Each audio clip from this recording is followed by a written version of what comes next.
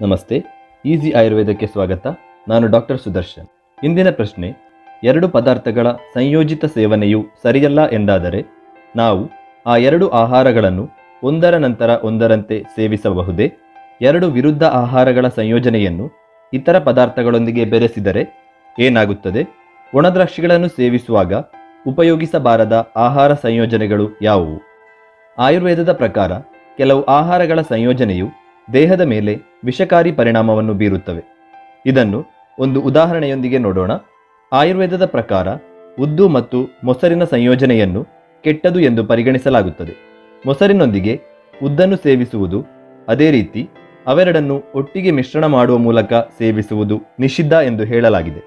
ಆದರೆ ಒಬ್ಬ ವ್ಯಕ್ತಿಯು ಉದ್ದಿನ ಬೇಳೆಯಿಂದ ತಯಾರಿಸಿದ ಇಡ್ಲಿ ಅಥವಾ ದೋಸೆಯನ್ನು ಸಾಂಬಾರ್ ಜೊತೆಗೆ ಸೇವಿಸಿದ ಸ್ವಲ್ಪ ಸಮಯದ ನಂತರ ಮೊಸರು ಅಥವಾ ಮೊಸರನ್ನವನ್ನು ಸೇವಿಸಿದರೆ ಅದು ಸ್ವಲ್ಪ ಮಟ್ಟಿಗೆ ಸಮಂಜಸವಾಗಿರುತ್ತದೆ.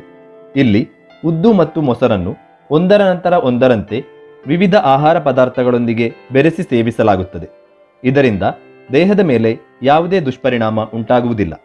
ಅಷ್ಟಾಂಗ ಹೃದಯ ಗ್ರಂಥದ ಏಳನೇ ಅಧ್ಯಾಯದ ಸರ್ವಾಂಗ ಸುಂದರಿ ಟೀಕೆಯಲ್ಲಿ ಇದನ್ನು ವಿವರಿಸಲಾಗಿದೆ. ಅಲ್ಲಿ ಆಚಾರ್ಯ ವಾಗ್ಭಟರು ಜೇನುತುಪ್ಪ ಮತ್ತು ತುಪ್ಪವನ್ನು ಸಮ ಪ್ರಮಾಣದಲ್ಲಿ ಸೇವಿಸಿದರೆ ಅದು ವಿಷವಾಗಿ ಪರಿಣಮಿಸುತ್ತದೆ ಎಂದು ವಿವರಿಸುತ್ತಾರೆ. ಇದನ್ನು ವ್ಯಾಖ್ಯಾನಕಾರರು ಹೀಗೆ ವಿವರಿಸುತ್ತಾರೆ.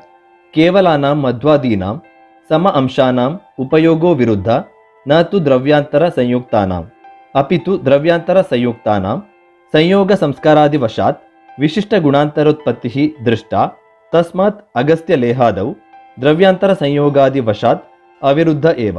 ಈ ಶ್ಲೋಕದ ಅರ್ಥ, ಕೇವಲಾನಾಂ ಮಧ್ವಾದೀನಾಂ ಸಮ ಅಂಶಾನಾಂ ಉಪಯೋಗೋ ವಿರುದ್ಧ.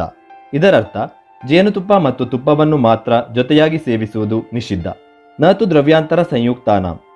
ಇತರ ಪದಾರ್ಥಗಳನ್ನು ಬೆರೆಸಿದಾಗ ಸಂಯೋಜನೆಯು ಬದಲಾಗುತ್ತದೆ, ಆದ್ದರಿಂದ ಅದು ಹೊಂದಿಕೆಯಾಗುವುದಿಲ್ಲ. ಅಪಿತು ದ್ರವ್ಯಾಂತರ ಸಂಯುಕ್ತಾನಾಂ. ಇತರ ಪದಾರ್ಥಗಳನ್ನು ಜೇನುತುಪ್ಪ ಮತ್ತು ತುಪ್ಪದ ಸಮಾನ ಪ್ರಮಾಣದೊಂದಿಗೆ ಬೆರೆಸಿ ಸೇವಿಸುವುದು ನಿಷಿದ್ಧವಲ್ಲ.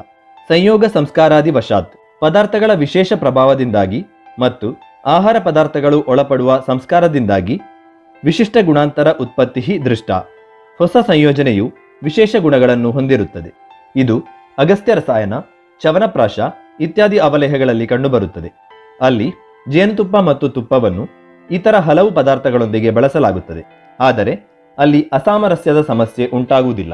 ಮುಂದೆ ಒಣದ್ರಾಕ್ಷಿಗಳ ಬಗ್ಗೆ ನೋಡೋಣ. ಒಂದು ವೇಳೆ ಒಣದ್ರಾಕ್ಷಿ ಹುಳಿಯಾಗಿದ್ದರೆ ಅದನ್ನು ಹಾಲಿನೊಂದಿಗೆ ಸೇವಿಸುವುದು ನಿಷಿದ್ಧ. ಏಕೆಂದರೆ ಚರಕ ಸಂಹಿತ ಸೂತ್ರಸ್ಥಾನದ ಪ್ರಕಾರ ಯಾವುದೇ ಹುಳಿ ಆಹಾರ ಪದಾರ್ಥಗಳನ್ನು ಹಾಲಿನೊಂದಿಗೆ ಸೇವಿಸುವುದು ಸರಿಯಲ್ಲ. ಆಯುರ್ವೇದದಲ್ಲಿ ದ್ರಾಕ್ಷಾ ಫಲೋತ್ತಮ ಎಂದು ಹೇಳಲಾಗಿದೆ. ಅಂದರೆ ಹಣ್ಣುಗಳಲ್ಲಿ ದ್ರಾಕ್ಷಿ ಅತ್ಯುತ್ತಮವಾದುದು ಎಂದರ್ಥ. ಒಣದ್ರಾಕ್ಷಿಯನ್ನು ಖಾಲಿ ಹೊಟ್ಟೆಯಲ್ಲಿ ಸೇವಿಸುವುದು ತುಂಬಾ ಒಳ್ಳೆಯದು. ವಾಸ್ತವದಲ್ಲಿ ರಾತ್ರಿಯಿಡೀ ನೀರಿನಲ್ಲಿ ನೆನೆಸಿದ ಹತ್ತು ಒಣದ್ರಾಕ್ಷಿಗಳನ್ನು ಮರುದಿನ ಬೆಳಿಗ್ಗೆ ಸೇವಿಸುವುದರಿಂದ ಮೈಗ್ರೇನ್, ಜಠರದುರಿತ, ಮುಟ್ಟಿನ ಅಧಿಕ ರಕ್ತಸ್ರಾವದಂತಹ ಪಿತ್ತದೋಷಕ್ಕೆ ಸಂಬಂಧಿಸಿದ ಪರಿಸ್ಥಿತಿಗಳನ್ನು ನಿಯಂತ್ರಿಸಬಹುದು. ಒಣಹಣ್ಣುಗಳಾದ ಪಿಸ್ತಾ, ವಾಲ್ನಟ್, ಅಂಜೂರ, ಪುಲಾವ್ ಮತ್ತು ಮೊಸರನ್ನದಂತಹ ಆಹಾರ ಪದಾರ್ಥಗಳ ಜೊತೆಗೆ ಒಣದ್ರಾಕ್ಷಿಗಳನ್ನು ಸೇವಿಸುವುದು ಉತ್ತಮ.